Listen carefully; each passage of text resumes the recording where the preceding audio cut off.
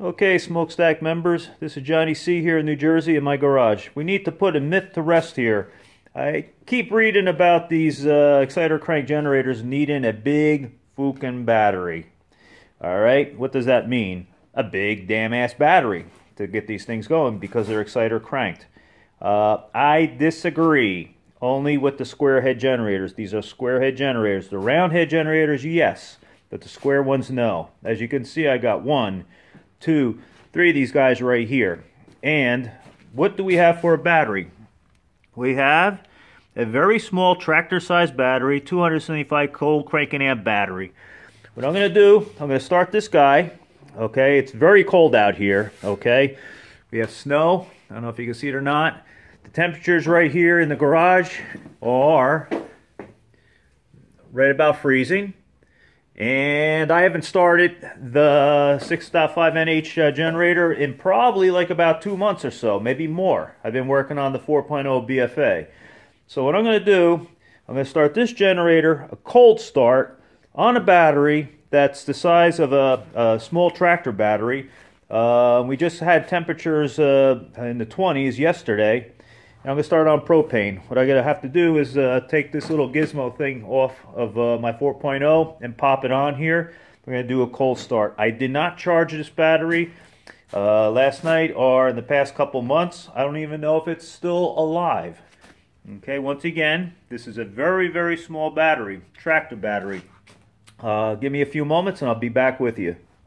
Okay, folks, I've uh, hooked up my propane little gizmo. We're hooked up to two tanks of uh, propane uh, feeding into the uh, carburetor.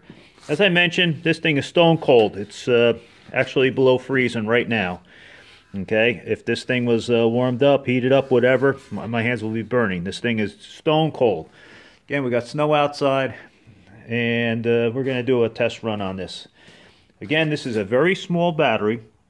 It's a 275 cold cranking amp battery tractor battery, nothing bigger than that. Uh, it's probably about half the size of a regular uh, automotive battery. And we're going to give this a whirl. Again, I have not started this in a long, long time.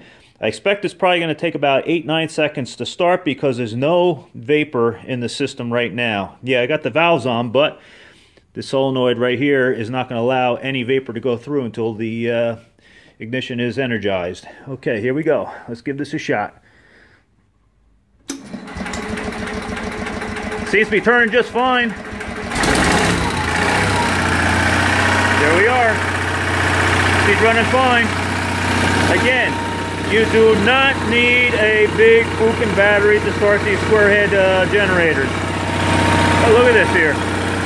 Maybe I got some uh, moisture in the system, I don't know. It's been a long time since I started this. Okay, once again, we're below freezing.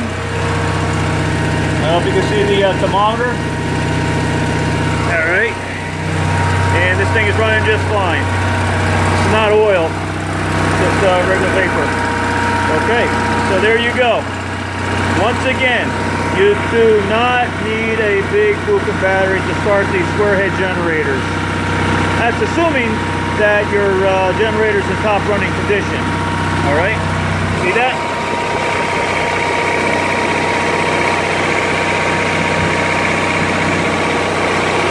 75 cold cranking amps. All right, that's it. Looks like the uh, vapor, steam, whatever is, is uh, gone. Might as well let this run a little while.